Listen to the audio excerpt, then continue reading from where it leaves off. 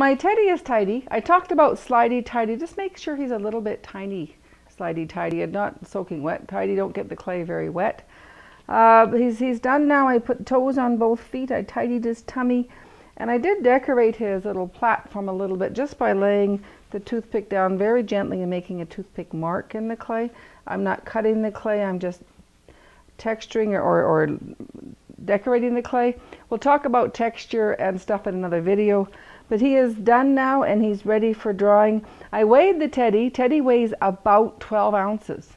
So the Plainsman Pottery Supply, our local pottery supplier, where we buy our clay, it's 40 cents a pound for buff stones. This teddy cost about 30 cents to make a little sculpture and experiment and learn about clay. Now that he's done, I have a, a plastic bag I've just opened. If you have lots of tidy teddies, you can open a big garbage bag. I just have one.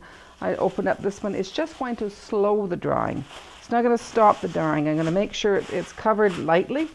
And he's going to stay, you're going to make the teddy. He's going to stay under plastic for tonight. And then tomorrow I'll take it off for an hour or three.